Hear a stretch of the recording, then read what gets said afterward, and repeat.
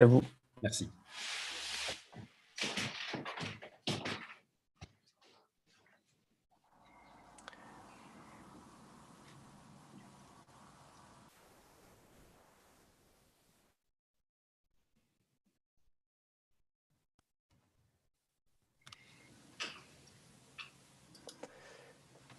Bien, je vois euh, que Madame Elise Van Beneden est avec nous et Monsieur Eric Alt, euh, respectivement présidente et, vice-président euh, d'Anticor.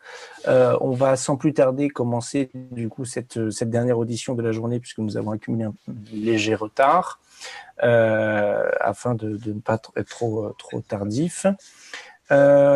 Je, vous remercie euh, euh, d'avoir accepté cette, euh, cette audition. donc, je, je, me permets d'indiquer que ce n'est pas sans intérêt au regard du thème de nos travaux qu'on vous auditionne, évidemment, et je vous remercie de votre disponibilité. Je vous rappelle que cette audition est diffusée en direct sur le site de l'Assemblée nationale, puis sera consultable et qu'elle fera l'objet euh, d'un compte-rendu écrit qui sera publié. Je vais vous donner la parole pour une brève intervention liminaire euh, euh, qui précédera notre échange sous forme de questions-réponses avec moi-même, le rapporteur et les, collègues parlementaires qui sont, qui sont présents. Euh, auparavant, l'article 6 de l'ordonnance du 17 novembre 1958 relative au fonctionnement des assemblées parlementaires impose aux personnes auditionnées par une commission d'enquête de prêter serment, de dire la vérité, toute la vérité, rien que la vérité. Donc, madame, monsieur, je vous invite donc à, lever la main droite et à dire euh, je le jure. J'ai retard. Euh, je le jure. Afin de, ne pas être trop, tardif. je, vous remercie. J'entends un retour euh, audio. Je ne sais pas qui a, un retour audio des haut-parleurs allumés, mais ça devrait se régler euh, d'une minute à l'autre. Euh, en tout cas, je ne sais pas lequel de vous deux souhaite commencer, peut-être Madame la Présidente, j'imagine. Euh, nous vous laissons la parole pour le propos liminaire. Je vous invite à activer votre micro puisque par défaut il est, euh, il est coupé et, j'invite euh, Monsieur Alt à couper le sien en attendant qu'il ne prenne pas la parole de sorte à ce que ça ne génère pas d'interférence. D'accord. Est-ce que vous Parfaitement. D'accord très rapidement, je tiens à vous remercier de nous avoir associés à cette commission d'enquête parlementaire parce que euh, le fait que la représentation nationale soit à l'écoute de la société civile est pour nous un, indice euh, extrêmement euh, positif pour notre démocratie. Vous nous avez posé des questions auxquelles Anticor a, répondu. Nous avons envoyé notre document de, de réponse. Nous n'aborderons du coup au cours de cette audition que quelques points sur lesquels nous avons considéré qu'il était pertinent d'insister. Tout d'abord, je vais vous présenter rapidement euh, notre association, donc Anticor, qui est une association euh, fondée en 2002 pour lutter contre la corruption et pour l'éthique en politique. Son ambition première est de réhabiliter le lien de confiance qui doit exister dans une démocratie représentative entre les citoyens et leurs représentants politiques. L'association regroupe euh, des citoyens et des élus de toutes les tendances politiques engagés pour faire respecter les exigences démocratiques. C'est une association qui est radicalement transpartisane. Euh, un petit peu de chiffres, en avril 2020, nous avions 3 euh, 916 adhérents. Euh, une autre caractéristique d'Anticor qui est assez rare dans le milieu associatif, c'est que nous n'acceptons aucune subvention publique et aucun don des entreprises. Sur nos activités, nous avons trois activités principales. Le, plaidoyer, donc la construction de, de propositions de réforme, la formation, dont l'intervention dans les lycées, et le judiciaire le judiciaire étant euh, une de nos activités euh, les plus importantes, notre activité la plus importante. Au sujet du judiciaire, Anticor bénéficie de deux agréments.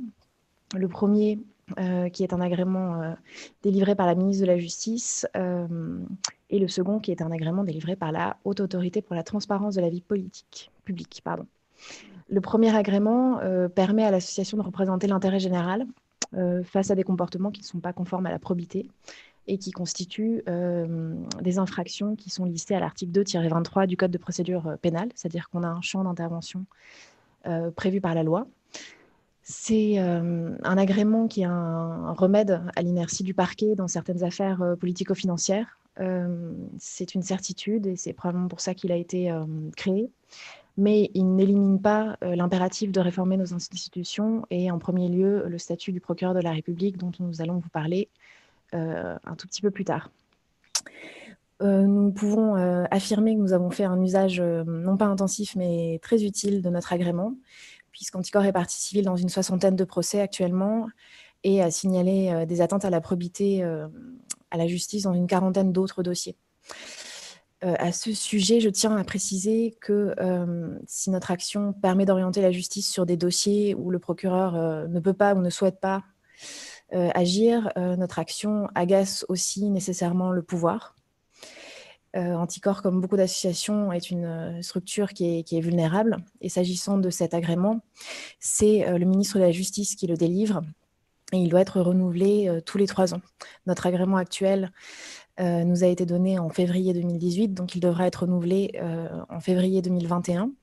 Et il faudra être attentif à la décision qui sera prise par notre garde des Sceaux à ce sujet. Et en tout état de cause, sur cet agrément, nous pensons qu'il est absolument paradoxal que cet agrément soit délivré par le pouvoir exécutif, alors même qu'il nous arrive d'exercer des actions contre les membres du gouvernement. Euh, sur ce sujet, nous considérons qu'il euh, serait souhaitable, si le mécanisme de l'agrément est maintenu, que euh, le pouvoir de délivrer cet agrément soit transféré à la HATVP, qui a su ces dernières années démontrer son indépendance. Je vais laisser la parole au vice-président Anticor, Eric Alt, pour la reprendre plus tard. juste insister sur quelques questions. Vous avez les réponses détaillées dans notre écrit sur quelques questions importantes. Vous avez posé la question, faut-il reformuler l'article 64 de la Constitution qui dispose que le président de la République est garant de l'indépendance de l'autorité judiciaire? La réponse est oui. Nous citons euh, les exemples d'un certain nombre de pays étrangers, euh, l'Allemagne, l'Italie, l'Espagne. Puis nous disons aussi c'est un paradoxe au regard même de notre propre déclaration des droits de l'homme, puisque l'article 16 de la déclaration des droits de l'homme dit toute société dans laquelle la séparation des pouvoirs n'est pas déterminée d'un point de constitution. Euh, donc, euh, il y a là, dans l'architecture du pouvoir, dans l'architecture constitutionnelle, déjà un problème. Il se décline de bien des façons. Vous avez posé la question, faut-il faire évoluer le rôle et la compétence du CSM Là aussi, nous répondons oui, euh, parce que, comme ça vous a été rappelé dans les auditions précédentes, le CSM est déterminé, je veux dire, c'est le garde des Sceaux qui détermine les choix du CSM, le CSM n'a le pouvoir que de refuser pour les magistrats du siège. Euh, il n'a un pouvoir plein et entier que pour la nomination des chefs de juridiction, des chefs de cour et des magistrats à la Cour de cassation. Euh, alors, je pense qu'il faut être ambitieux pour la réforme du CSM, et c'est la raison pour laquelle nous nous référons à euh, un texte, un avis important du Conseil consultatif des juges européens, qui a proposé, fait des propositions pour un conseil de justice au service de la société. Ça impliquerait des changements de conditions d'élection, de domination des membres, des pouvoirs renforcés, adaptés à l'exercice de la mission. Mais je pense qu'il faut être ambitieux, en tout cas beaucoup plus ambitieux que la réforme constitutionnelle euh, projetée sur ce point. Ensuite, euh, vous avez posé la question, faut-il faire évoluer le statut du parquet? Là aussi, la réponse est oui, euh, parce qu'il faut supprimer le venin du soupçon. Je me souviens en 2011, j'étais à la Cour de cassation, le procureur général d'alors, M. Nadal, avait tenu un discours de rentrée et il avait dit il faudrait dire que le parquet est proche d'un état de coma dépassé. alors, bien sûr, il y a eu la loi du 25 juillet 2013 qui interdit au garde des Sceaux de donner des directives individuelles, mais sur le fond, ça n'a pas changé l'image du parquet, ça n'a pas changé le soupçon, d'autant plus que le Premier ministre assume encore ce souhait de nommer des procureurs en ligne et à l'aise avec le pouvoir. Je reprends ça, ce qu'il a dit. On nous dit souvent la politique pénale euh, justifie le lien hiérarchique parce que le gouvernement détermine et conduit la politique de la nation, et la politique pénale, c'est une politique comme les autres. Pas tout à fait comme les autres. Euh, d'abord parce que les parquets sont de toute façon incités à maximiser le taux de réponse pénale, l'opportunité en réalité ne porte que sur les affaires sensibles. Ensuite, parce que le cadre de l'action publique est fixé par la loi euh, et les choix de politique pénale ne peuvent conduire à délaisser certaines lois au profit d'autres. Ensuite, parce que la plupart des circulaires sont des circulaires qui ne sont pas prescriptives, elles sont des circulaires de doctrine, de présentation de la loi, facilite la présentation et l'interprétation de la loi. ensuite, il y a effectivement des circulaires qui sont prescriptives, mais ces circulaires prescriptives n'ont jamais donné lieu euh, à l'engagement ni de la responsabilité d'un procureur, et encore moins à celle du gouvernement. Et j'ajoute que dans d'autres pays, euh, la politique pénale est déterminée par un collège d'avocats généraux. C'est le cas en Belgique, aux Pays-Bas, d'autres façons en Espagne. Et sans doute y aura-t-il aussi, sous euh, le parquet européen, un collège des procureurs européens. Euh, donc, tout ceci nous conduit à relativiser l'importance de la politique pénale quand il s'agit de dire c'est la raison essentielle pour laquelle il y a un lien hiérarchique avec le garde des Sceaux nous sommes favorables à l'alignement des statuts des magistrats du parquet sur les magistrats du siège, par exemple sur l'exemple italien. Euh, et s'agissant d'un point particulier qui est le secret partagé, donc la remontée d'informations qui est organisée, euh, eh bien, Jean-Jacques Urvoas a donné un, bon exemple des dérives possibles, et je dirais même, euh, effectivement, c'est difficile à prouver. Jean-Jacques Urvoas s'est fait prendre parce que son interlocuteur n'avait pas effacé le message mais Jean-Jacques Urvoas avait donné l'information à quelqu'un qui était de l'opposition. Donc, pensons que si on peut partager ces informations avec l'opposition, évidemment, la, majorité au pouvoir en bénéficie généreusement. Alors, vous avez posé la question, euh, le rattachement de la police judiciaire au ministère de l'Intérieur pose-t-il problème? Oui, incontestablement. D'ailleurs, Anticor euh, notre fondateur, qui n'était pas encore fondateur d'Anticor, Eric Alphen, s'est euh, vu refuser, dans une affaire célèbre, euh, l'assistance euh, d'officiers de police judiciaire pour une perquisition. Mais on peut aussi se poser la question, dans une affaire récente, ce sont quand même des officiers de police judiciaire et ils ne sont pas naïfs qui avaient tenté de perquisitionner l'appartement de M. Benalla. Et c'est étrange qu'il n'ait posé qu'un ruban alors qu'on pouvait raisonnablement se douter qu'il y avait des choses, choses dans cet appartement. On ne savait pas encore qu'il y avait le coffre. Donc la France, je pense, doit suivre l'exemple italien où des officiers de police judiciaire sont directement rattachés au parquet indépendant. Euh, et je dirais en résumé, en 1911, l'administration pénitentiaire a été rattachée à la justice pour garantir l'aval des décisions judiciaires. Peut-être que dans un futur proche, la police judiciaire, en tout cas les services spécialisés de police judiciaire, pourraient être rattachés à la justice pour garantir l'amont de la décision judiciaire. Vous avez posé la question, la réforme de la CJR, Cour de justice de la République, euh, prévue par la loi constitutionnelle, projet de loi constitutionnelle, est-elle satisfaisante euh, Non, euh, tout simplement parce qu'il subsiste dans le projet de loi un hiatus entre le volet ministériel et le volet non ministériel.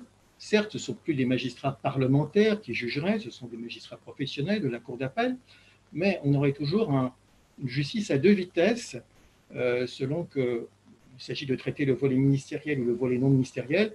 Et en plus, le ministre n'aurait pas la possibilité de faire appel, euh, sauf à considérer que la Cour de cassation pourrait devenir juge d'appel, ce qui n'est vraiment pas son rôle. Euh, vous avez aussi posé la question des, éléments dont la Commission devrait se saisir. Et je souhaite insister sur le problème de la dépendance de TRACFIN. C'est une institution discrète, mais importante pour la justice. Euh, et il y a un grand problème de dépendance de TRACFIN vis-à-vis de l'exécutif. Anticor considère comme suspecte la chronologie du départ de M. Bruno Dahl, intervenu le 10 juillet 2019, alors que son mandat devait durer jusqu'en 2021. Euh, nous notons que cette éviction est intervenue alors qu'Anticor avait déposé plainte le 5 juin 2019 sur le volet russe de l'affaire Benalla. La plainte visait les montages financiers en place pour dissimuler les contrats passés avec des sociétés russes par l'intermédiaire des sociétés écrans, euh, pendant qu'il était en poste à l'Élysée. Donc pourquoi est-il parti à ce moment-là? C'est une question qu'on peut se poser. Alors ensuite, vous avez effectivement une connaissance de l'enquête administrative ouverte en juillet 2019. Ça appelle des commentaires de ma part, évidemment. D'abord, je rappelle, cette procédure d'enquête administrative euh, est fondée sur deux griefs inconsistants. la signature en février 2018 de la confirmation de la constitution de partie civile d'anticorps dans l'affaire Ferrand, et c'est juste la signature, je confirme la constitution de l'association comme partie dans cette affaire. Deuxième point, ce sont des critiques sévères des autorités. J'ai effectivement euh, j'ai publiquement dit ce que je pensais des autorités de l'État qui, en Corse, avaient refusé d'accueillir euh, la plainte des citoyens qui, notamment, concernait l'affaire des primes agricoles. Alors, sur l'affaire de la constitution de partie civile, je note que la garde des Sceaux avait dans son dossier, alors qu'elle a signé la saisine de l'inspection, qu'elle avait dans son dossier euh, une note du directeur des services judiciaires qui l'avait alerté pour dire que ce n'est pas une affaire de nature à justifier les poursuites disciplinaires. Elle avait dans son dossier l'arrêt de la Cour de cassation du 29 mai 2019, qui est une arrêt, euh, M. Balkany avait saisi la Cour de cassation au motif que j'étais au tribunal de Paris et que Anticor était participé dans ce dossier. Cour de cassation a répondu les éléments soulevés par M. Balkany ne sont pas de nature à faire naître un doute sur l'impartialité du tribunal de Paris, dès lors que M. Hutt n'a pas, fait, euh, pas fait partie de la composition en charge du jugement de l'affaire, qui n'exerce aucune fonction pénale et que de plus, 300 magistrats sont affectés à la juridiction en cause. Et puis j'ajoute que comme tout juriste, on sait bien que le problème de l'impartialité se pose du point de vue du juge qui reçoit la plainte, du point de vue de la juridiction qui apprécie la plainte. Le problème de l'impartialité ne se pose jamais pour la victime ou pour le plaignant. Alors là, euh, je déposais plainte, et ce n'est même pas une plainte, c'était constitution de partie civile pour anticorps. Euh, S'agissant, ce sont les trois choses qui laissent penser que cette procédure n'est pas tout à fait normale le second grief concernait effectivement ce que j'avais dit sur les autorités de l'État en Corse. Et là aussi, la ministre avait dans son dossier une note de la présidente de la Cour d'appel, aujourd'hui présidente de la Cour de cassation, concluant qu'il n'y avait matière ni à poursuite disciplinaire, ni à rappel déontologique. Et elle s'inspirait en, cela de la déclaration de la Cour européenne des droits de l'homme, d'un jugement de la Cour européenne des droits de l'homme, concernant une magistrate qui avait dénoncé la corruption dans le ressort où elle exerçait. Et la Cour européenne des droits de l'homme a dit, euh, elle a soulevé une question d'intérêt général méritant de faire l'objet d'un débat libre dans une société démocratique. Et donc l'obligation de réserve devait céder devant la possibilité pour le magistrat de lancer l'alerte. Euh, j'ajoute que le dossier de l'enquête administrative a révélé que le parquet d'Ajaccio n'avait pas du tout collaboré avec le parquet national financier. Et ça, c'est ce que, dit Madame Huette, euh, parce qu'effectivement, nous avions déposé plainte à Paris. Euh, il y avait eu euh, des échanges avec Ajaccio sur le point de savoir quelle était la juridiction la plus à même de traiter le dossier. Ajaccio n'a pas répondu. et puis, d'une façon générale, je dirais que lorsque j'ai eu ces propos sévères, eh bien, je les ai eus après avoir assisté à une réunion d'association en Corse où j'ai ressenti une souffrance devant une situation très dégradée de la justice et de l'état de droit en Corse. Ce n'est pas pour rien qu'un collectif anti-mafia s'est constitué euh, fin 2019 après l'assassinat euh, d'un jeune homme. Euh, et je cite un, un, article à ce sujet qui dit Le désintérêt et l'indifférence de la communauté française face à une région transformée en zone de non-droit mettent en cause les fondements de l'État et de la démocratie. Accepter ce fait, c'est entériner que la Corse soit une terre sans loi et c'est prospérer un tel système dans l'île équivaut à l'abandon de la population. Donc je pense que ce que j'ai dit était euh, un euphémisme par rapport à, tout ce qui a été euh, dit depuis. J'ai effectivement eu connaissance des douze tomes de documents réunis dans l'enquête. J'ai répondu aux trois inspecteurs pendant deux jours. Je n'ai toujours pas connaissance du rapport de l'inspection. Ce n'est pas faux pour moi de l'avoir demandé à la ministre en vertu euh, de l'article 311.6 du Code des relations entre le public et l'administration. Donc ça, c'est l'affaire. Je voudrais faire deux remarques importantes. D'abord, je ne suis pas... Essayez, monsieur le vice-président, pardon, euh, je vois l'heure qui tourne. Si vous pouvez essayer d'être un tout petit peu plus euh, concis. De toute façon, on va vous interroger et il y aura de l'échange. Vous pourrez revenir sur, sur tout un tas d'éléments. Mais je vous laisse terminer. C'est le point que vous souhaitiez terminer. Le premier, Renaud Van a fait projet, a fait la même expérience. Deuxième point, le groupe d'État contre la corruption du Conseil de l'Europe euh, s'est interrogé sur la possibilité pour le garde des Sceaux euh, d'initier des procédures administratives et disciplinaires concernant les magistrats. Mais peut-être que hum, cette affaire se situe dans un autre cadre et euh, la présidente va vous parler d'une affaire dans laquelle se situe euh, cette procédure disciplinaire en rapport. Madame la Présidente, il faut réactiver votre micro. Oui, pardon. Euh, oui, vous nous avez donc euh, posé une dernière question, enfin une autre question qui était est-ce qu'Anticor a été confronté à des comportements qui portent atteinte à l'indépendance de la justice? Et il se trouve que nous avons un dossier dont on souhaite parler à la Commission. Euh, Anticor a déposé une plainte le 1er juin 2018 euh, euh, au sujet des, de comportements susceptibles d'être reprochés à M. Alexis Collère, secrétaire général de l'Élysée, qui avait été dénoncé par Mediapart. Je pense que tout le monde connaît le dossier, mais les médias en ont peu parlé. Ce qui était en cause, c'était le problème, les fonctions successivement exercées par M. Collère au service de l'État et d'un armateur assez connu, la société MSC, auquel il était lié par des liens familiaux, puisqu'une partie de sa famille est actionnaire de cette société. Euh, cette situation nous semblait susceptible de recevoir une qualification pénale. Nous avons donc euh, déposé plainte devant le PNF. Le PNF euh, a saisi en juin 2018 la BRDE et le 7 juin 2019, donc un an après, un procès verbal de synthèse qui relevait des éléments précis et concordants qui auraient pu justifier la saisine d'un juge d'instruction et la mise en examen pour prise illégale d'intérêt et trafic d'influence de M. Colère a été adressé au parquet il se trouve que euh, au 1er juin 2019, donc très peu de temps après, euh, juillet. pardon, 1er juillet 2019, euh, une lettre signée par M. Emmanuel Macron sur papier libre a été annexée au dossier.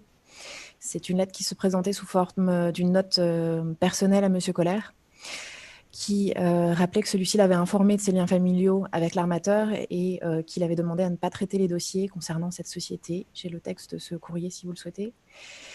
Et euh, quelques jours après, le 10 juillet 2019, un nouveau procès verbal de synthèse, qualifié cette fois-ci de définitif, allégé d'une dizaine de pages, et de tous les faits susceptibles d'être reprochés à M. Colère, a été renvoyé au parquet. Le 21 août 2019, sans qu'il y ait une urgence euh, particulière et alors que le PNF était dirigé euh, par une avocate euh, générale qui assurait l'intérim, l'affaire a été classée sans suite.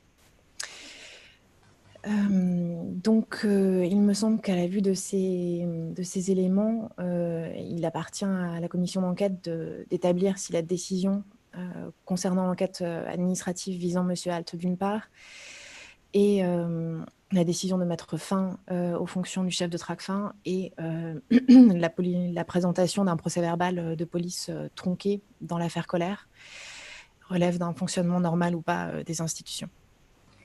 Je sens que tout ceci s'est déroulé dans, un même, dans une même période de temps, début juillet 2019. Bien, merci à, tous les deux pour, pour tous ces éléments. Effectivement, c'était pour, euh, pour nous très important de, de, vous auditionner euh, en tant qu'association et, vous aussi, monsieur le, vice-président, euh, du fait de l'enquête administrative qui, était, qui, est, qui est en cours, visiblement toujours en cours, puisque vous êtes toujours pas Je m'attends, je m'attends. les éléments. Bon, finalement, la longueur de la justice vaut aussi pour les enquêtes administratives, il faut croire je, m'interroge, vous nous avez donné un certain nombre d'éléments euh, sur des, enquêtes qui sont plutôt médiatiques et emblématiques. Euh, toutes les auditions que nous avons conduites jusqu'à présent, je pose souvent toujours cette même question euh, aux magistrats qui sont, euh, qui sont devant nous. Avez-vous eu connaissance de près ou de loin, vous-même ou indirectement, vos proches collaborateurs ou des collègues, de pression, d'obstacles à l'indépendance, à votre indépendance, que ce soit par des moyens médiatiques, par des élus, par, enfin, que sais-je. Et à chaque fois, c'est la même réponse qui nous est sempiternellement donnée et qui peut être rassurante, qui est de dire non, jamais dans toute ma carrière, non. Quelques-uns se sont euh, euh, laissés aller à, des anecdotes remontant d'il y a 30 ans ou 40 ans. Euh, je, je m'interroge au vu des éléments que vous nous donnez là. Est-ce que finalement, il n'y a pas plus d'obstacles qu'il n'y paraît?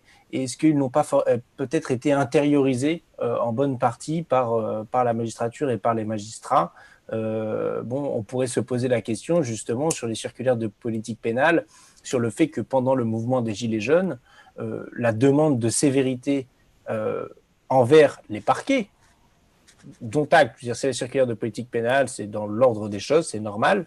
Euh, comment explique-t-on qu'elle était aussi bien suivie par les formations de jugement de magistrats de siège euh, derrière, euh, par exemple? Donc, Du coup, j'aimerais avoir votre avis à tous les deux là-dessus. Alors, sur les, circulaires de politique pénale, elles impliquaient le parquet. ensuite, les magistrats du siège sont indépendants et je pense que les jugements qui ont été rendus sont, des jugements qui sont différents selon les formations, selon aussi le fait qu'on était à Paris euh, ou en région. Euh, mais c'est sûr que ce n'est pas satisfaisant d'avoir non seulement une circulaire de politique pénale, mais d'avoir vu la ministre de la Justice elle-même, qui est bienvenue dans les tribunaux, mais qui s'est rendue au tribunal de Paris à cette occasion. Euh, donc là, c'est vrai qu'il y a une pression, mais pour les magistrats du siège, ils pouvaient résister. Euh, et il y a effectivement une pression sur les parquets qui est, manifeste. Ensuite, sur euh, l'intériorisation, c'est vrai que c'est jamais satisfaisant pour soi-même de se dire euh, on travaille sous pression. Et d'ailleurs, c'est vrai que la pression s'est allégée formellement, et s'est allégée depuis la, loi de, de, 2013.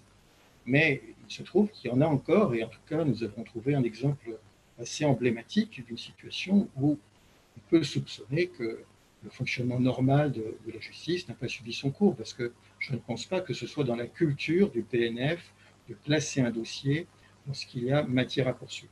Je pense qu'au minimum, je ne sais pas si ça a emporté condamnation, mais je pense qu'au minimum, un juge d'instruction aurait dû être saisi, et ce classement euh, qui est intervenu, ben, finalement, il aurait paru juste anormal si euh, le, magistrat en question n'avait fait preuve une sorte de résistance passive, parce que je pense qu'on attendait de lui à ce qu'il passe à la broyeuse le premier rapport, il n'a pas passé à la broyeuse, c'était dans le dossier, donc nous pouvons, nous l'avons lu et nous pouvons effectivement euh, vous en faire part. Madame la Présidente. Oui, alors sur l'intérieur. Et notamment, notamment pardon, sur l'interrogation, peut-être qu'il y a d'autres affaires beaucoup moins problématiques euh, pour lesquelles les justiciables vous saisissent euh, de tels comportements d'un magistrat, euh, que ce soit du parquet ou du siège. On a vu la difficulté, y compris pour les magistrats eux-mêmes, lorsqu'ils ont connaissance de dysfonctionnement, à en rendre compte, puisqu'ils ne peuvent pas saisir le Conseil supérieur de la magistrature. donc, comment, comment on fait? D'accord. Sur, euh, sur l'intériorisation, je ne sais pas, vous venez d'avoir euh, l'avis d'un magistrat qui pense euh, et vaut plus que l'avis d'une avocate. ce que je vois moi, c'est qu'il y a probablement une, banalisation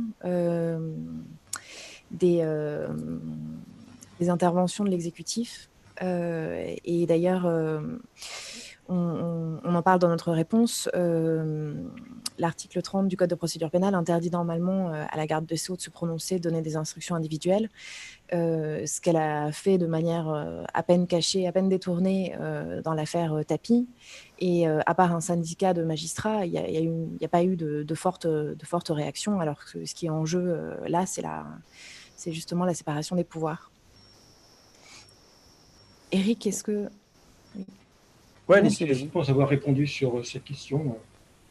Et est-ce que du coup vous pensez, euh, je vous pose la question directement, euh, Monsieur Had, sur l'enquête administrative, euh, vous pensez que c'est la conséquence directe de quoi? De laquelle des affaires? De, toutes celles-là? Ou est-ce que c'était histoire de ramasser quelques, quelques bricoles qu'on vous reprochait, que l'exécutif semblerait vous, vous reprocher? Ou est-ce qu'il y a notamment le, fait de la relance de, l'affaire du président de l'Assemblée nationale, Richard Ferrand, est pour vous un élément euh, déclencheur, puisque vous avez été mis en cause publiquement euh, sur ces, euh, sur ces aspects-là par l'intéressé et puis par différentes autres personnalités politiques.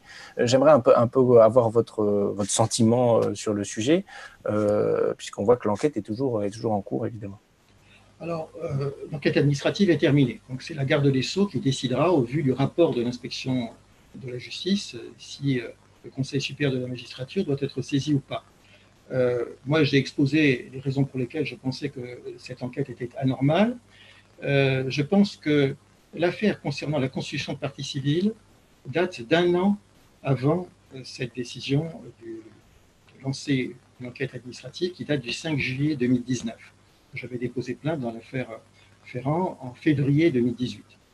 L'affaire Corse date de février 2019. Et je ne pense pas que euh, c'était une affaire, enfin, il y a beaucoup de magistrats qui tiennent des propos critiques, euh, et je ne suis pas le premier, et je suis pourtant le premier poursuivi pour, pour cela. Donc je pense que euh, ces deux affaires ne sont pas la réalité du dossier. je pense qu'au mois de juillet, peut-être au vu de l'affaire Colère, peut-être au vu d'autres affaires dans lesquelles Anticor avait déposé plainte, euh, la décision a été prise, mais c'est mon intime conviction, je n'ai pas de moyen de le démontrer, mais la décision a été prise d'intimider Anticor, de tenter une intimidation et, de discréditer Anticor. Alors, ça n'a pas très bien marché parce que euh, les collègues se sont mobilisés, ils ont tout de suite vu euh, le sujet, même les deux syndicats de la, magistrature ont fait une communiqué de soutien, mais c'est vrai que je crois que c'était une volonté d'intimider Anticor, et peut-être aussi derrière Anticor, tous les magistrats tentaient, d'une façon ou d'une autre, d'avoir des propos critiques avec le pouvoir ou d'exercer leur liberté d'expression. Bien, merci. Moi, je, vais laisser la parole au, rapporteur. J'ai noté euh, les demandes de parole des collègues euh, Bruno Kettel, Cécile Untermeyer et, Nadia Hay qui euh, pourront poser leurs questions à la suite du rapporteur Didier Paris, à qui je donne tout de suite la parole. Merci, Monsieur le Président. Bonjour à vous, Madame la Présidente, Monsieur le Vice-président. Euh, c'était effectivement important pour notre commission d'avoir ce contact avec vous, euh, y compris dans une logique, euh, dans une logique, comment dire, gratte-poil un peu, si je peux me permettre l'expression, et ça fait intégralement partie de, de notre mission. J'ai un petit ennui pour être franc, c'est que vous faites référence à des réponses que vous avez apportées que je n'ai pas le sentiment d'avoir eues. C'est moi, en tant que rapporteur, qui pose des questions et je, ne les ai pas vues. Il y a peut-être un problème matériel chez nous, mais je ne les ai pas vues de la même façon d'ailleurs que j'ai eu l'impression, mais c'est une, impression vague, que vous répondiez à des questions que je n'avais pas posées. Mais votre parole est libre, il n'y a pas de difficulté, évidemment. Et donc, on réglera ce problème et, évidemment, on regardera dans le détail euh, vos réponses argumentées et qui seront partagées avec les membres de la commission. J'ai quelques questions, si vous permettez. Euh, vous êtes une association habilitée, vous l'avez largement évoqué, euh, dans le cadre de la lutte contre la corruption notamment. Vous n'êtes pas seul, mais il n'y en a pas beaucoup. Il y a Transparence, Transparency International avec vous. je voudrais comprendre. Ah Pardon? Sherpa aussi. Il y a trois associations agréées. Deux ou trois.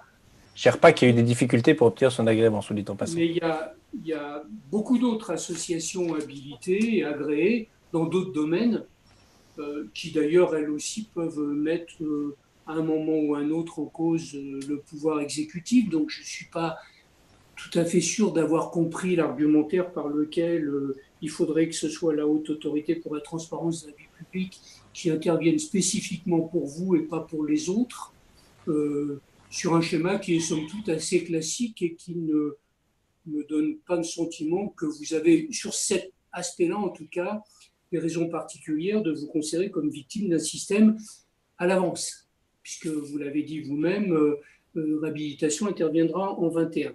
Je voudrais d'abord comprendre dans votre association combien à peu près de plaintes vous arrivent? J'ai cru lire quelque part que c'était plusieurs par jour, donc c'est un volume relativement conséquent. Vous avez donné un chiffre, combien de trains de plaintes au réel vous traitez? Et finalement, puisqu'il y a une grosse différence, semble-t-il, entre ce qui vous arrive et ce que vous traitez, qu'est-ce qui prévaut à vos choix? Est-ce que vous ne retenez que les plaintes qui ont une incidence médiatique, que les plaintes qui ont une incidence politique? Quels, est finalement, quels sont finalement les critères d'action d'anticorps par rapport à la masse de renseignements ou de plaintes qui peuvent vous être adressées? Première question, je vous laisse répondre et puis j'en pose une deuxième, peut-être une troisième. Alors sur, euh, sur les questions, euh, ben, nous répondons aux questions euh, qui, vous ont, qui nous ont été adressées. C'est moi qui vous les adressez, mais je suis désolé, monsieur Ham, je, n'ai pas matériellement eu les réponses, c'est juste un ah, problème. D'accord, nous avons envoyé les réponses début d'après-midi. Donc, ça, ça, c'est la raison pour laquelle nous n'avons pas. Et je laisse, je laisse la présidente répondre sur la question du nombre des plaintes et sur le statut de notre association et la possibilité d'améliorer. Oui, sur, euh, l'agrément, euh, c'est un, agrément qui a été créé euh, en, en, 2013, qui n'existait pas avant. c'est vrai que jusqu'à présent, on n'a pas eu de problème pour obtenir le premier agrément et le renouvellement, mais en fait, il y a eu cette expérience extrêmement négative qu'a eu Sherpa, donc qui est une autre association qui est agréée, puisque euh, n'a pas obtenu euh, le renouvellement de son agrément et qu'il y a euh, eu un début de bataille judiciaire devant le tribunal administratif et que dans l'intermédiaire entre dans l'intervalle entre le cette, ce début de bataille judiciaire et le deuxième agrément, deuxième demande d'agrément qu'elle a faite, où là elle a obtenu le renouvellement de son agrément, l'ensemble des procédures judiciaires dans lesquelles elle était sa participation a été remise en cause dans l'ensemble de ces, euh, dans de ces procédures. Donc on a une activité aujourd'hui qui est quand même euh, en grande partie euh, judiciaire. Et, et, par rapport aux autres associations qui sont agréées, Transparency fait peu de contentieux, Sherpa a un contentieux qui vise davantage l'international. C'est vraiment Anticor aujourd'hui en France qui porte ces dossiers euh, contre euh, des euh, personnalités politiques extrêmement importantes. Mais ce ne sont pas les seuls dossiers dans lesquels on va. Donc, je vais également vous en parler.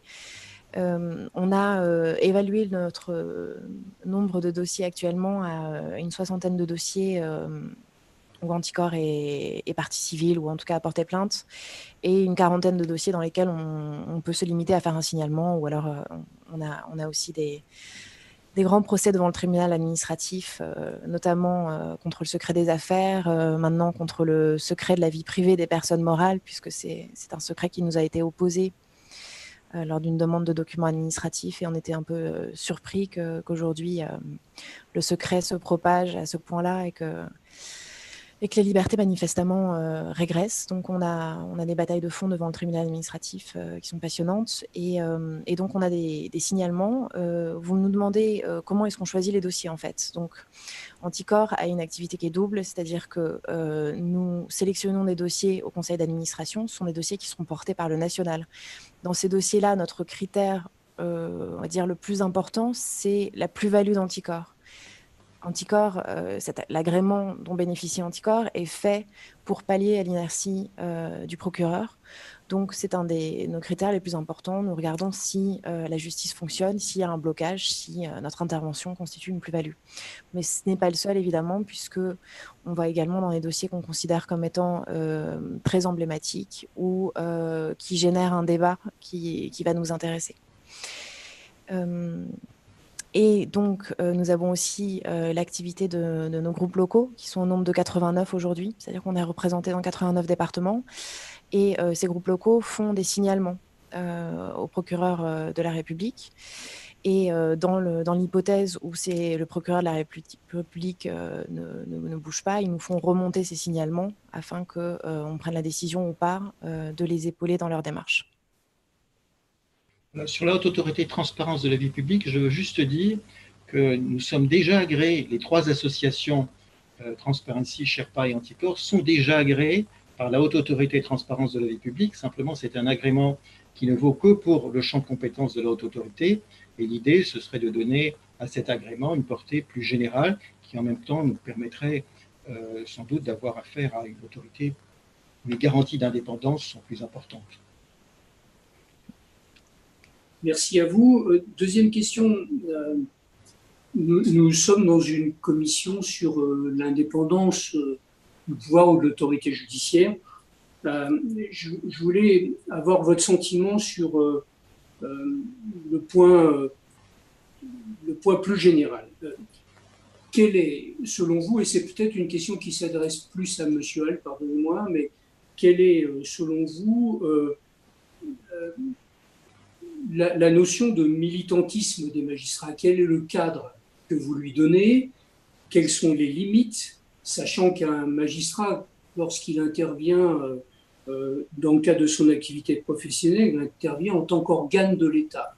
Est-ce que dans certaines situations, vous ne craignez pas qu'il puisse y avoir confusion de rôle, en quelque sorte, entre l'exercice public qui est le vôtre et euh, l'exercice privé, entre guillemets, je mets tous les guillemets avec vous si vous souhaitez, politique, qui peut aussi être le vôtre. Il ne s'agit pas d'un, nécessairement d'un militantisme hors sol de votre, de votre situation de magistrat. Vous avez vous-même fait référence à, au soutien qui avait été qui vous avait été accordé par un certain nombre de personnes, dont acte. Euh, vous savez aussi qu'il y a eu un certain nombre de tribunes, euh, notamment celle de, professeurs de droit public, Olivier Beau, Jean-Marie Duncan notamment, contestant l'approche, mais sur des motifs non pas politiques, sur des motifs strictement, euh, comment dire, de fondamentaux juridiques, y compris par rapport aux décisions de la Cour européenne des droits de l'homme. Est-ce que vous pouvez être un peu plus clair l'un et l'autre, ça vous concerne tous les deux, sur cette différence que vous faites ou que vous devriez faire ou que vous êtes amené à faire et cette réflexion qui est la vôtre de la séparation entre le rôle militant qui peut être le vôtre et votre fonction dans la société, votre fonction de magistrat Alors, l'impartialité est un grand sujet. Euh, il y a une jurisprudence euh, très intéressante de la Cour européenne des droits de l'homme sur ce sujet. Et la Cour européenne des droits de l'homme dit l'impartialité s'apprécie au cas par cas.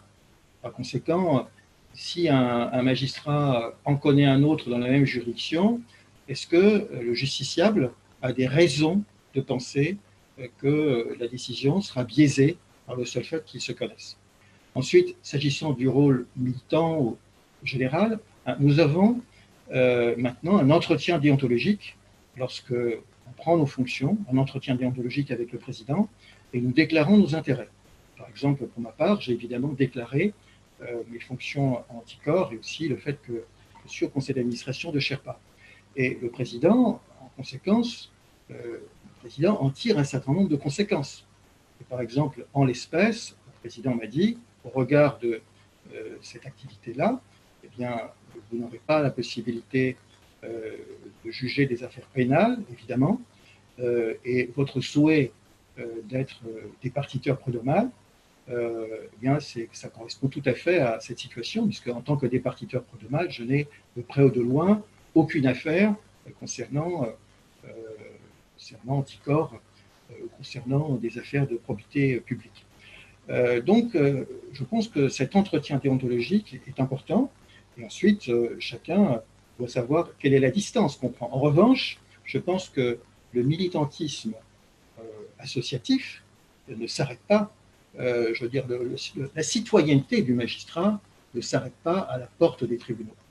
Euh, et donc on peut être magistrat et citoyen, et d'ailleurs certains magistrats sont élus après avoir carrière politique, et, ça ne pose aucun problème.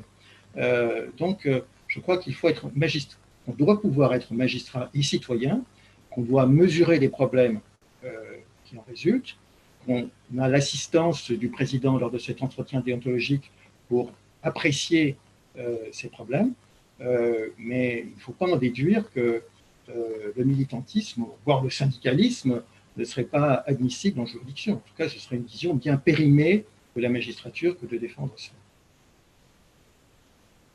Merci à vous. Juste euh, dernière observation, mais je crois que vous y avez pleinement répondu. Euh, je voulais savoir la, suite qui avait été donnée à l'enquête administrative sur la base d'une non-conformité aux règles déontologiques qui sont, qui sont les vôtres. Finalement, il n'y a toujours pas de réponse et vous avez euh, fait un plaidoyer des raisons pour lesquelles vous pensiez que ce n'était pas normal. Donc j'en reste sur ce point. Et Monsieur le Président, je n'ai pas d'autres questions à ce stade.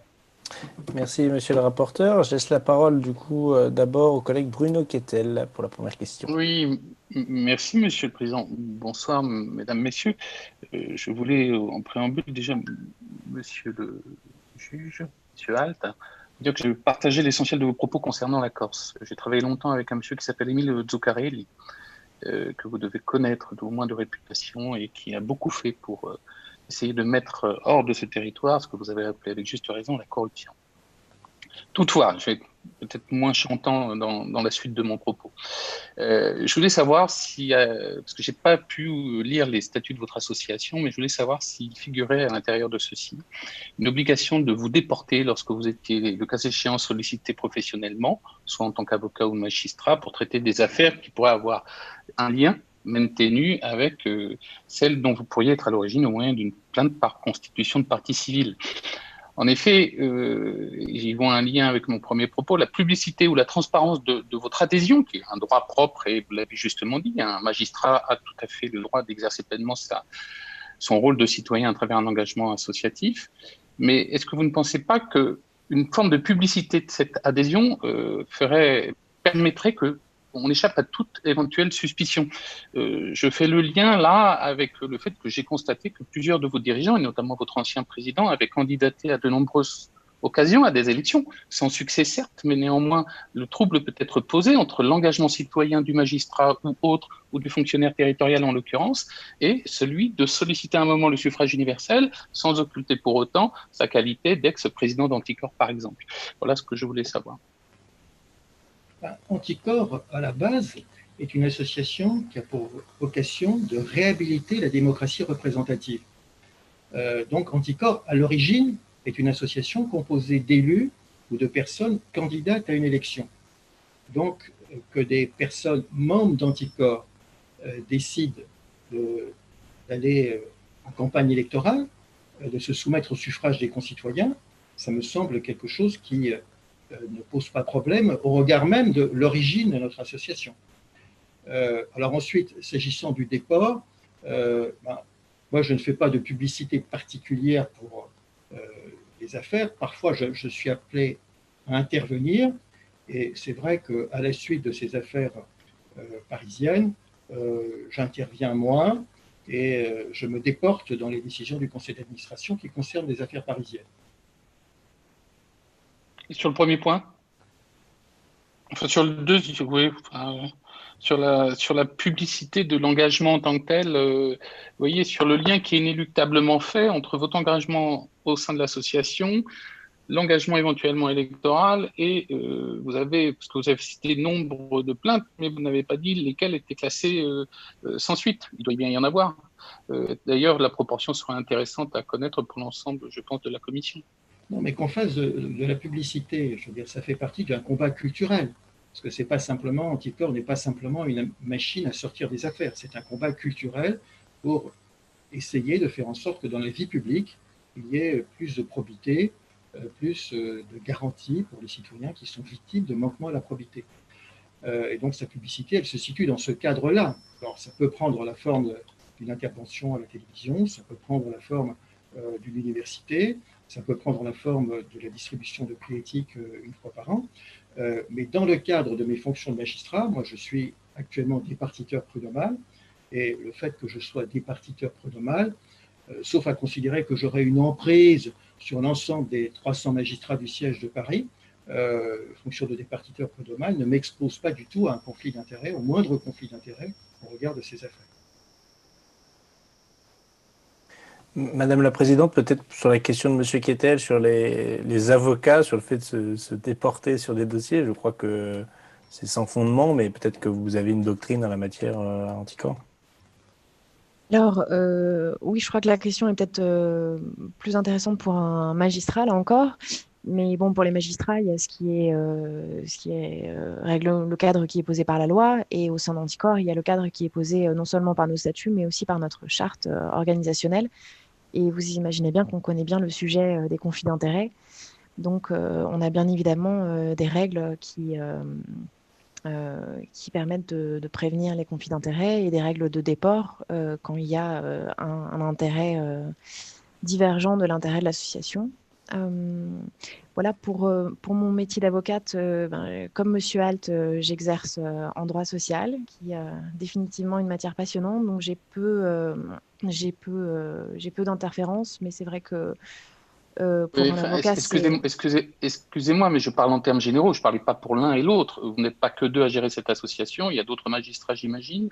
Il y a d'autres avocats, j'imagine. Je parle, je parle sur les principes. Hein. Je ne parlais pas pour vous et votre activité, pour laquelle j'ai le plus grand respect, chers confrères, par ailleurs. Voilà. D'accord. donc, bah, écoutez, moi, sur l'activité d'avocat en général, non, je ne pense pas du tout que l'activité d'avocat ait vocation à ne pas être militante. Au contraire, elle est éminemment militante et il n'y a aucune interférence qui me semble gênante avec, avec l'exercice de cette activité-là. On a un autre magistrat, mais c'est un ancien magistrat, il me semble, Eric? C'est ça, il n'est plus magistrat? Donc tu es le seul magistrat. Euh, non, alors nous sommes, nous sommes grâce, grâce à l'indignation euh, qui a suscité mon affaire, nous sommes maintenant 60 magistrats dans l'association. Ils ne sont pas tous actifs et nous sommes essentiellement des magistrats civils. Ah, tu parles des adhérents, oui. Voilà, parmi, parmi les adhérents. Euh, tout à fait. Alors, les, adhérents qui sont venus euh, au soutien d'Eric Alt ne sont pas des, pénalistes. Donc, euh, là aussi, il y a euh, peu de, sujets d'interférence. On a bien évidemment pensé à cela. Donc, il n'y a pas de, magistrat pénaliste, à ma, connaissance, au sein de l'association. Et, quand même, je poursuis un peu la question, s'il y avait un magistrat pénaliste qui demandait à adhérer, vous lui refuseriez son adhésion? C'est pas le sens de ma question. Non, non, mais c'est ma question, euh, Bruno. Euh, je, précise, c'est ma question. Je poursuis euh, de, par la discussion que nous avons là. Vous savez que la, justice est, terriblement sous-financée et il n'y a pas énormément de, magistrats et de, juges d'instruction. Donc, on préfère effectivement qu'il n'y ait pas de, de juges d'instruction dans l'association pour qu'il y ait des juges d'instruction pour juger nos dossiers. C'est une réponse. Vous n'avez pas répondu sur le nombre de classements sans suite. Oui, je, ah, euh, je vous ai pas répondu parce qu'on a on a on n'a pas fait le calcul, mais c'est vrai que c'est une question intéressante. Alors classement sans suite, ça, ça, dépend ce que ça veut, ce que ça, oui, sur le, ça envoie sur le nombre de plaintes que oui, enfin, sur le nombre de plaintes que vous avez pu être amené. Il y a eu euh, il y a eu des classements sans, sans, suite dans plusieurs affaires, dont par exemple dans l'affaire Ferrand. il y a eu un classement sans suite, il me semble, et après on s'est constitué partie civile et il y a eu, il y a eu une, une mise en examen. Donc euh, voilà. je ne sais pas quelle était la pertinence de, pour vous de votre question. C'est-à-dire est-ce que le dépaysement du dossier pour se de l'origine de la plainte. Oui. Est-ce que votre question c'était est-ce qu'on est-ce qu'il y, y, a beaucoup d'actions de nos actions qui n'aboutissent pas non mais oui parce que je, je, suis assez surpris vous, me pardonnerez d'être aussi direct mais vous vous personnalisez énormément euh, les questions qu'on vous pose et l'ensemble de vos propos mais moi je on est sur les principes Hein, vous êtes devant la représentation nationale et, donc d'une manière générale, euh, vous déposez un nombre de plaintes, combien par an, combien sont l'objet euh, d'une instruction, combien sont euh, mis au panier, entre guillemets, classés sans suite ou autre. Y voyez-vous toujours la main noire d'un cabinet noir qui viendrait à l'encontre de la seule probité que vous seriez apte à, au détriment du fonctionnement même de la démocratie à porter. Et voilà, je veux dire, comment vous voyez tout cela? Parce que comme le tableau que vous décrivez de la société dans son ensemble, je parle d'un point de vue républicain et de l'organisation de la justice, est assez sombre, je voulais savoir si un, il y avait beaucoup de classements sans suite ou autre, et, quelle, quelle euh, interprétation vous en faites? Est-ce que parfois ça vous semble aussi justifié? Ça peut arriver, ça nous arrive dans nos professions. Euh, voilà, je veux savoir comment vous voyez un peu toutes ces questions-là. D'accord, vous avez d'ailleurs posé une autre question qui était combien d'alertes euh, on reçoit par jour? Alors, je vais commencer par là. On en reçoit une, entre 15 et 20 par jour, disons. Donc certaines, comme je vous l'ai expliqué, arrivent au conseil d'administration et vont en plainte. Euh, le nombre de plaintes qu'on actionne chaque année, je pense actuellement aussi sur les 20 plaintes. Euh, euh, le nombre de classements sans suite, on n'a pas fait de, on n'a pas établi de, chiffres sur ce sujet. Il y en a. je peux juste vous dire quelques dossiers où il y en a eu. Euh, après, l'incidence pour nous, euh, elle est. Euh,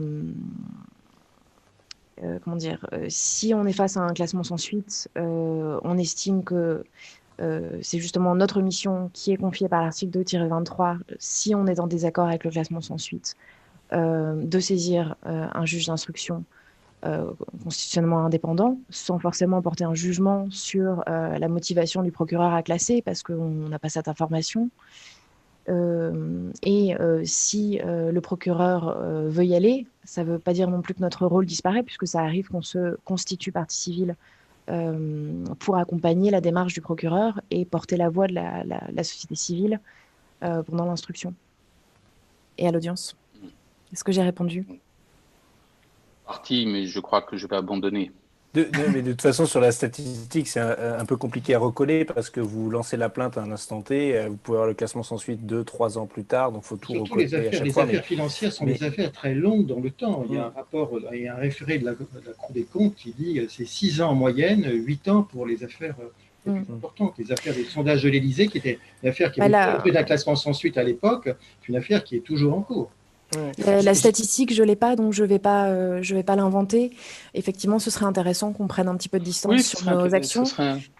Euh, bon, je vais encore personnaliser. Je vous y encourage. On n'est on pas transparency, on est tous bénévoles. on n'a que deux salariés, donc c'est vrai qu'on a souvent la tête dans le guidon, pour parler franchement. Mais on, réfléchit aussi à prendre un petit peu de, recul sur nos actions, effectivement, et peut-être que ce travail de, de statistique serait intéressant. Vous avez cité Transparency qui a été suspendu dans son agrément pour non-transparence euh, sur les donateurs. Non, c'est Sherpa. Non, Sherpa. C'est Sherpa, pardon, excusez-moi.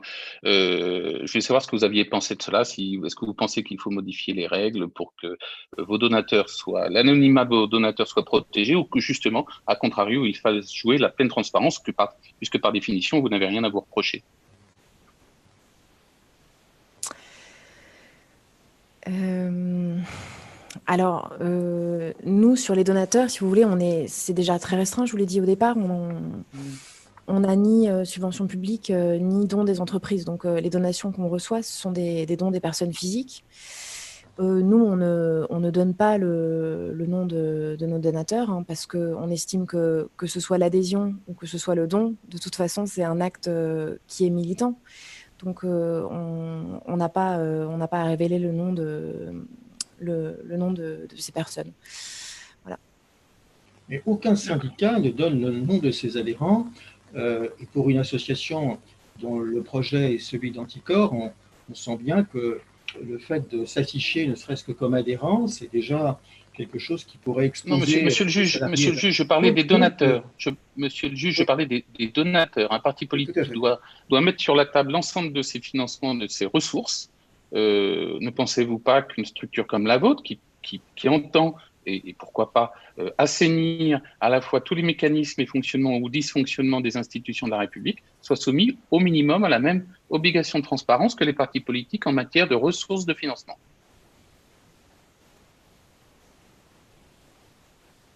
Bon, moi, j'ai répondu déjà, hein, Anticor mmh. et, pas un parti politique, euh, elle ne le sera certainement pas euh, jamais. C'est pas ma question. Oui, oui, c'est une introduction. Euh, vous avez raison en disant qu'il faut montrer l'exemple quand on demande aux autres d'être exemplaires, mais on le fait sur d'autres sujets. C'est-à-dire que, par exemple, on publie nos comptes sur notre site Internet. Euh, là où on n'a on pas l'obligation de le faire. Euh, notre, notre choix de, de ne pas euh, publier la liste de nos, de nos donateurs, c'est c'est un, un, choix de, de, protection d'une activité militante et puis de... Et bon, c'est aussi un choix RGPD, à vrai dire, parce qu'on n'aurait pas le droit de le faire. Euh, mais euh, en soi, je ne pense qu'on ne le ferait pas parce que, euh, comme un syndicat ou comme toute structure qui est, qui est par essence militante, on ne voudrait pas, on ne voudrait pas mettre nos, nos, donateurs et nos adhérents en porte-à-faux. Merci, merci Monsieur le Président. Merci pour les, réponses. Je crois que ça vaut aussi pour les partis politiques, même si les donateurs en temps de campagne euh, sont publics. La publicité n'est pas si évidente euh, que, euh, que cela, et les fichiers des adhérents encore moins, même si parfois on, peut se les procurer par d'autres moyens. bref, je ne vais pas m'étaler là-dessus. Cécile, je te laisse la parole pour la question suivante. Merci.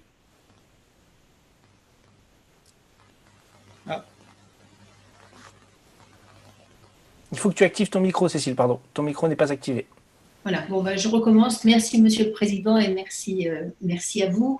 Moi, je, voulais changer un peu de sujet et revenir sur euh, l'année 2013 euh, où nous avons fait un pas en avant sur la transparence, à mon avis, avec la mise en place de la HATVP, et puis sur cette culture déontologique que nous avons souhaité porter au sein de la société et bien évidemment au sein également de la justice en mettant en place des, collèges de déontologie euh, qui n'ont pas pu être, euh, bien sûr, euh, inscrits au sein du CSM parce que ça n'était pas possible. Et, je, souhaitais vous, poser deux questions à ce sujet. D'une part, que pensez-vous de ces collèges de déontologie, notamment dans le domaine judiciaire, que nous avons mis en place?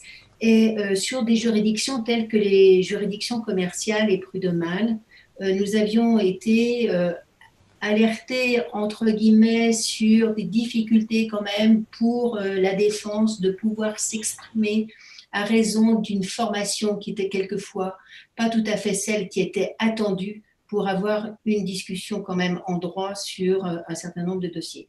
Et je voulais savoir, puisque vous êtes répartiteur prud'homal, si euh, vous considérez que cette, cette question de la formation et de la, rupture de l'entre-soi est une question qui se pose encore de manière importante euh, pour que la justice soit indépendante, parce que cela, me semble-t-il, est un des éléments euh, importants pour, euh, pour en garantir effectivement l'indépendance.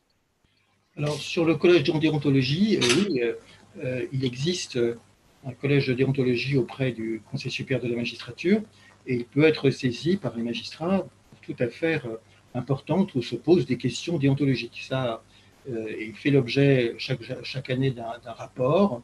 Oui, euh, je connais. d'avoir quelques directions euh, importantes, intéressantes, et c'est d'autant plus important que ceux qui sont affectés au collège déontologie ne sont pas ceux qui sont éventuellement affectés au contentieux disciplinaire.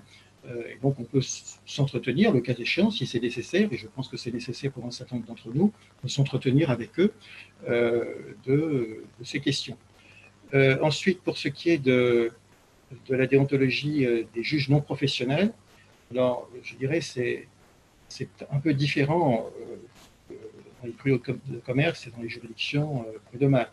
Dans les tribunaux de commerce, moi je me suis toujours posé la question de savoir quel était le ressort, pourquoi des gens bénévolement acceptent, acceptent de devenir juge commercial. Et, c'est vrai que souvent la réponse c'est que les juges commerciaux, ils ont connaissance de l'activité économique et notamment de l'activité des autres entreprises. Euh, et de ce point de vue-là, euh, ça peut vraiment poser problème. Je sais que vous avez déposé un, rapport sur le sujet. Vous avez dit juste titre euh, que ce n'était pas un atout pour la France d'avoir les juridictions commerciales telles qu'elles sont aujourd'hui. et les choses n'ont pas changé. Pour les juridictions du travail, c'est un peu différent parce que l'impartialité de la formation de jugement résulte du fait qu'il y a une parité entre employeurs et salariés. Puis si les employeurs et les salariés ne sont pas d'accord, il y a les juges départiteurs qui intervient. Euh, donc euh, la question de l'impartialité ne se pose pas du tout de la même façon, puisque au départ, il y a une, parité. Alors ensuite, s'agissant de la formation, eh bien oui, c'est un enjeu, mais précisément cette formation euh, s'est mise en place pour les prud'hommes qui ont été nommés l'année dernière. Euh, alors c'est peut-être une formation qui est encore insuffisante, puisqu'il y a la formation obligatoire, c'est trois jours euh, par, euh, vidéo et deux jours en présentiel ou également en vidéo, mais c'est déjà un plus, puisqu'il y a des bases. Ensuite, il faut savoir certain nombre de, de prud'hommes, de conseillers prud'homaux, ont la possibilité de recourir à leurs organisations professionnelles pour compléter cette formation. Mais effectivement, je pense qu'un enjeu, de la légitimité des conseillers prud'homaux, c'est d'avoir une bonne formation. En plus, ils nous apportent, euh, dans le lieu délibéré, euh, une vue concrète sur la façon dont les choses se passent euh, dans le monde du travail et des entreprises. Et de ce point de vue, j'écoute toujours avec beaucoup d'intérêt ce qu'ils ont à me dire.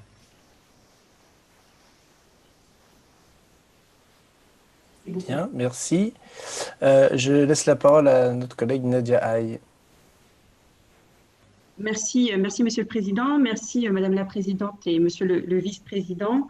Euh, votre agence milite pour une meilleure exemplarité, une meilleure intégrité, une meilleure transparence également dans la vie publique. on ne peut que partager ce niveau d'exigence que vous avez, évidemment. Et, c'est pourquoi je pense que, que votre action aura plus d'impact si vous vous appliquez à vous-même ce niveau d'exigence.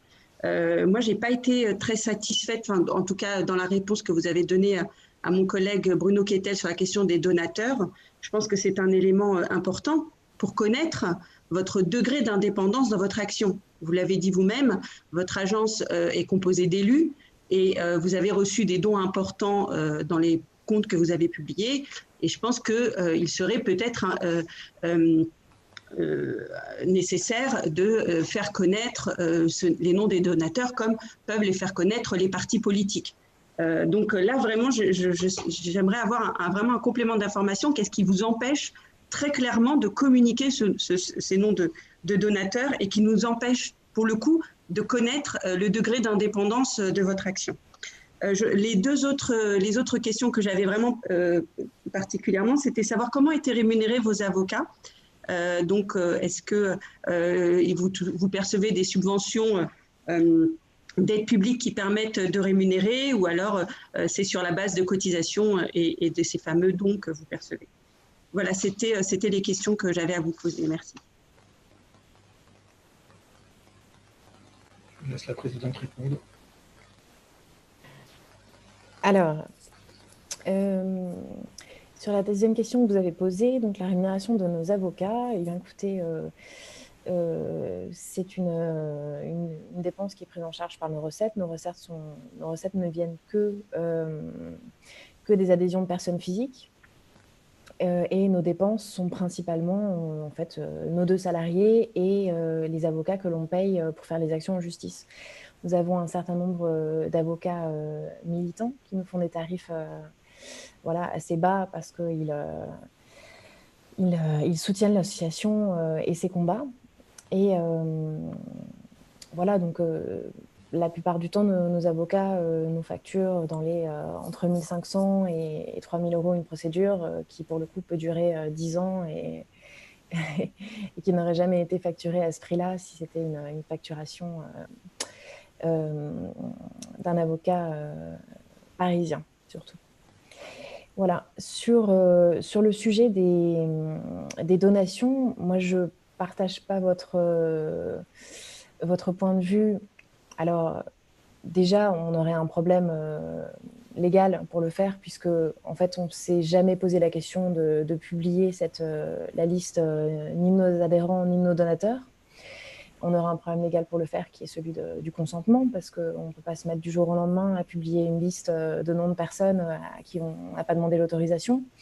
Effectivement, on pourrait à l'avenir réfléchir à ça et se dire que pour les prochaines adhésions, on posera la question et euh, on publiera ce nom. Est-ce que ça va restreindre des personnes dans le, le, soutien financier qu'ils pourraient apporter à l'association? Je ne sais pas. J'imagine, euh, j'imagine que, que, oui, parce qu'on a quand même euh, bon, des actions qui sont, euh, qui sont menées contre des, des, personnages extrêmement influents et que, et que ça, peut, ça peut faire peur. voilà, nous, ce qu'on fait, en fait, c'est que on, restreint, en fait, pour garantir notre indépendance, puisque c'est de l'indépendance anticorps qu'on parle maintenant, euh, pour garantir notre indépendance, ce qu'on a fait, c'est que, bon, je vous l'ai déjà dit plusieurs fois, donc pas de dons euh, de personnes morales, pas de subventions. On a un système de subvention indirect qui a été de prendre euh, des volontaires emploi civique pendant une période. mais en dehors de ça, on ne reçoit pas de subventions publiques du tout. et les dons qui sont effectués par les personnes physiques, euh, on, ne les, euh, on ne les connaît pas. En, fait, moi, je, ne connais absolument pas le, nom des donateurs. Quand il y a un don qui est supérieur à un montant qui a été euh, déterminé par le conseil d'administration, la trésorière, en l'occurrence, prévient le conseil d'administration et on a à ce moment-là un débat sur le montant de ce don par rapport à notre budget général, par rapport à notre budget total et euh, est-ce qu'il est susceptible de remettre en cause notre indépendance? Et on en a parlé assez récemment, par exemple, où moi j'ai proposé euh, la chose suivante, qui était que si on reçoit des dons un peu exceptionnels euh, par leur montant, on va non seulement aller un, petit peu vérifier qui est la personne qui nous fait ce, don, mais surtout, on ne va pas impacter ce don sur notre budget général, mais on va l'impacter sur des actions afin de ne jamais se retrouver dans la situation où euh, la coupure, l'arrêt euh, de, de, ce don nous mettrait en difficulté. type de difficulté, par exemple, de devoir licencier et pourrait influencer nos orientations stratégiques. Vous pouvez nous, préciser, nous, préciser pardon, le, le montant de l'alerte? Alors, il me semble que Eric, peut-être 5 000 euros. 5 000 euros. 5 000 euros? Je crois que c'est 7 000, non? C'est 7 000 Je crois qu'on a repris. On l'a augmenté, oui, 7 000, bon. On a repris le plafond. Le plafond pour les élections Le plafond pour les élections. Non, mais c'est ça, c'est le. 7500. Au début, c'était 5000 et puis on, on, a, on, a, aligné à 7500. C'est assez rare quand même qu'on ait des dons de 7500.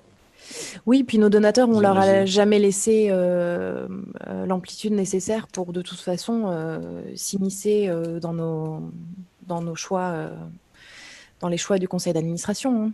Ce serait absolument inacceptable. Il n'a jamais été question que ça se passe comme ça. En tout cas, oui, effectivement, on a pu voir la qualité d'indépendance d'Anticor à défaut de celle de, la, de la, justice et, vous aurez eu une bonne publicité euh, de la, de la sorte. Euh, euh, il y a une dernière question de, du collègue Sébastien Nadeau. Oui, je vois la collègue Nadia Hay qui, qui voulait euh, compléter la question. Si ça peut porter sur l'indépendance de la justice et pas sur Anticor en tant que tel, ce serait parfait. Non, non, non, mais justement, c'est aussi l'indépendance d'Anticor, je pense que c'est important, puisque les actions qui sont menées, elles sont vraiment, euh, moi pour le coup, euh, je, je, partage parfaitement votre action et, les valeurs qui sont portées par, par l'agence. Et c'est vrai que c'est bien aussi de connaître le degré d'indépendance euh, de l'agence. Je voulais juste par rapport à la question des avocats, est-ce que les, les avocats euh, qui euh, se saisissent des, des, affaires sont aussi membres de l'agence? Est-ce que ça peut arriver que des avocats se saisissent des affaires? Et, et, et, si c'est le cas et elles sont payées par l'association, est-ce que, est que, vous ne pensez pas qu'il peut y avoir un conflit d'intérêts? Et si ce n'est pas le cas, bon, ben voilà, la question est. est...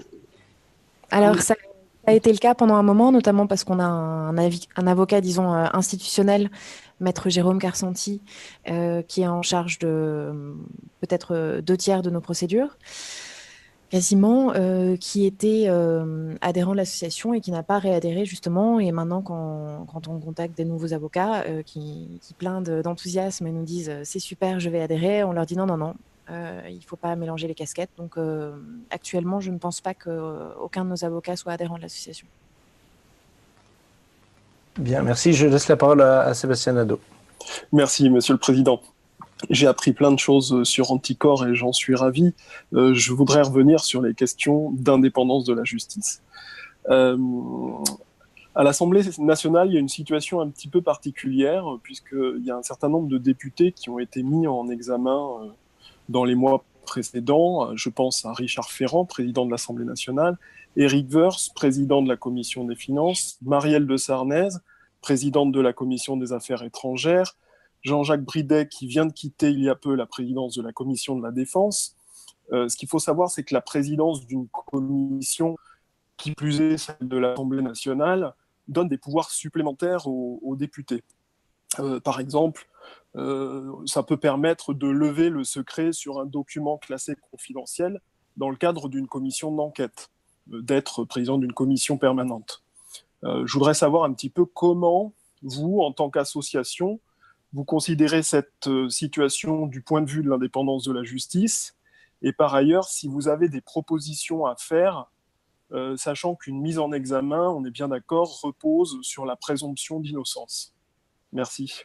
Oui, alors nous avons dans, notre texte répondu à, une question sur ce plan, euh, parce que la question qui est posée, notamment la marge de manœuvre du parquet, le fait que le parquet ait parfois pris des initiatives euh, sur lesquels euh, on pouvait s'interroger concernant des personnalités politiques ou des personnes politiques, des partis politiques. Et donc, notre position est la suivante, est de dire le parquet, c'est légitime qu'il euh, conduise une enquête préliminaire, mais dès lors que le parquet souhaite des mesures de contrainte, plutôt que d'aller saisir le juge de la liberté de la détention, qui d'ailleurs n'a pas la possibilité d'apprécier l'exécution des mesures de contrainte, eh bien, on revient à la position qui était d'ailleurs la, position euh, du Code de procédure pénale avant 2004. Dès lors que le parquet a besoin des mesures de contrainte, un juge d'instruction est saisi. Euh, et je pense que ça répondrait à un certain nombre de, vos questions, et notamment, je pense aux questions que vous posez au regard de, des initiatives du parquet que certains ont pu juger euh, particulièrement forte dans certains domaines et, et un peu faible dans d'autres. C'est mon cas. en effet. Dans, le prolongement de la question posée par le collègue Nadeau, euh, il a fait état de mise en examen, mais il y a des collègues aussi qui ont été condamnés définitivement, y compris à de la prison avec sursis. Donc, je voulais savoir, dans ce cadre-là, comment vous voyez les choses. Je vous remercie. Alors, pour ce qui est euh, des condamnations, ben, notre position euh, est de dire,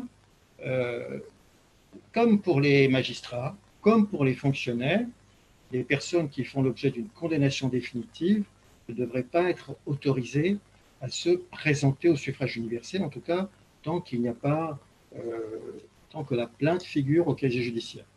Euh, c'est un peu différent de la position qui a été celle de la loi pour la confiance dans la vie publique de septembre 2017, puisque là, c'est le juge. Oui, mais excusez-moi, monsieur le juge, de vous interrompre, mais la personne qui est condamnée pendant l'exercice de son mandat, on fait quoi? Puisque vous considérez que la personne condamnée définitivement avant les élections doit être empêchée de se présenter, la personne condamnée pendant son élection ou son mandat doit-elle être démise de ses, de ses fonctions, quelles qu'elles soient, ou plus généralement, doit-elle être privée de ses droits civiques? Moi, je suis ouvert à tout dans le cadre de la réflexion. Il faut toujours que la peine, la peine juste et, proportionnée euh, euh, est décidée par le juge, elle est décidée au, au cas par cas. Euh, et pour ce qui est euh, des condamnations, eh bien, c'est la juridiction euh, de jugement qui décide. Euh, et donc, effectivement, dans certains cas, eh il doit être démis de ses fonctions.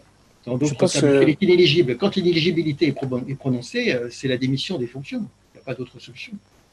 Euh, bah, il, peut y avoir des interprétations justement sur la rétroactivité, l'inéligibilité, etc. Je crois que le débat s'était posé, je ne sais plus trop à quelle, occasion, quelle loi.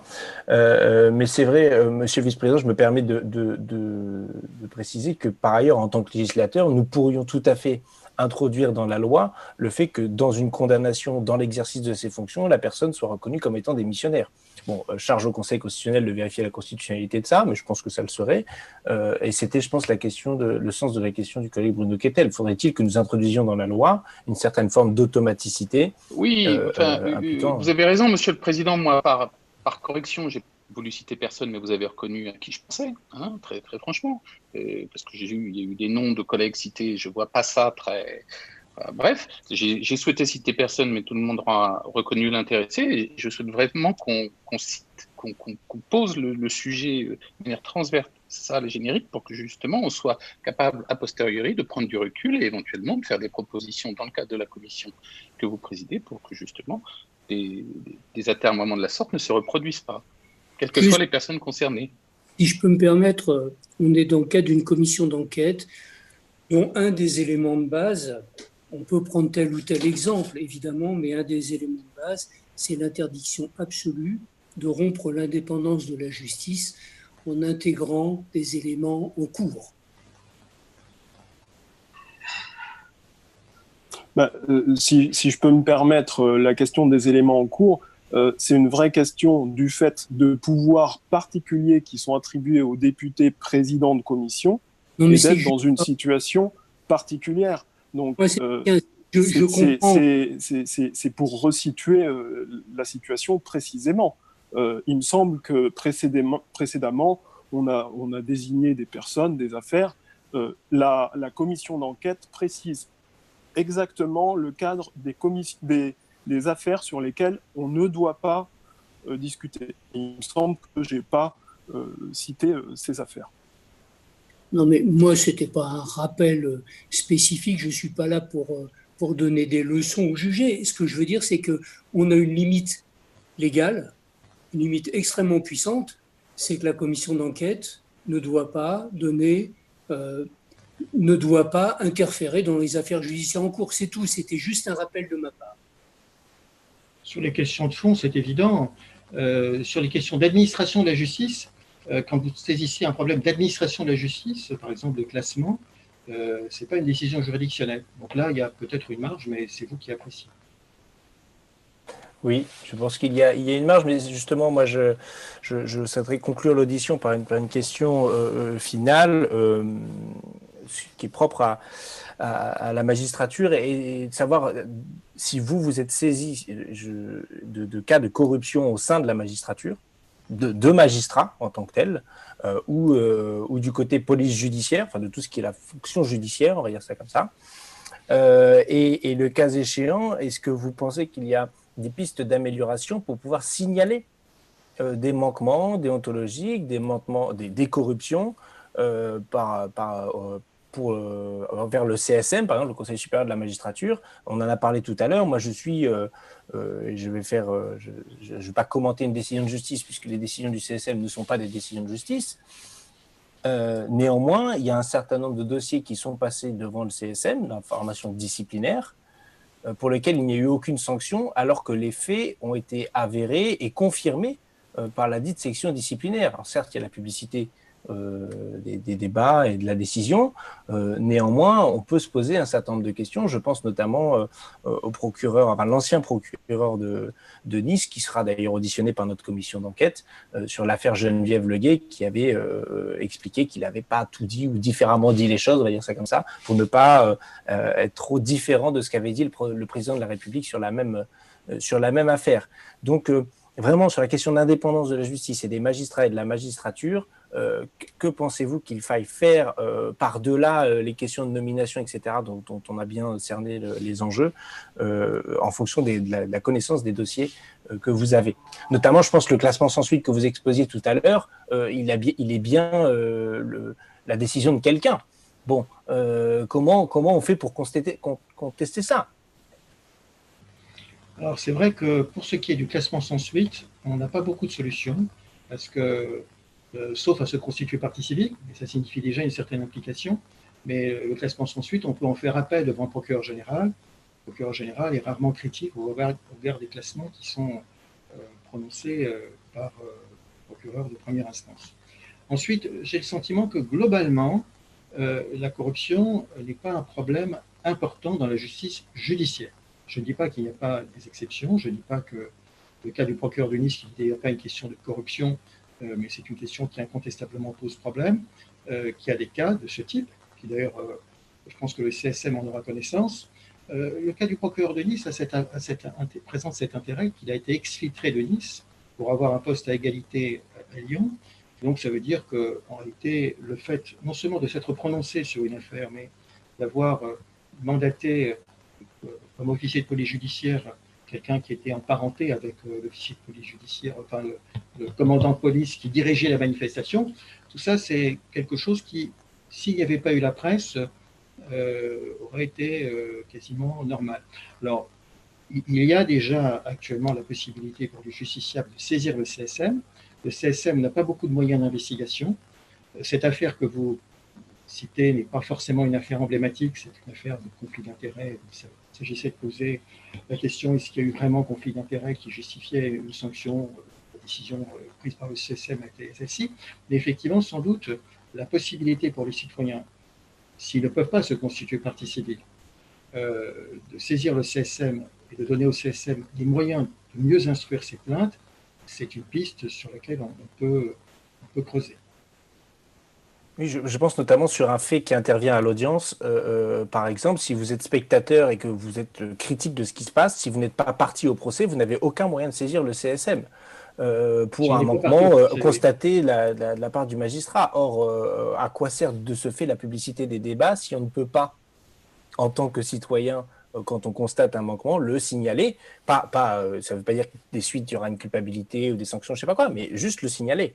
Euh, ça, ça, interroge quand même, y compris sur la place du citoyen dans tout, ça. Je suis d'accord. En tout cas, je vous remercie à, tous les deux pour vos, votre participation, vos, Merci infiniment. Euh, remercie les, collègues qui ont posé des, questions. Euh, et puis, je pense qu'on sera aussi amené à, se revoir, ce que j'ai dit au, procureur national financier la fois dernière, dans le rapport d'application euh, que je conduirai sur la question de la lutte contre la délinquance économique et financière. On s'était vu la fois précédente lors, du rapport, enfin, le premier rapport qui a été rendu. Voilà, merci, bonne soirée et, encore merci pour le temps que vous avez passé avec nous. Merci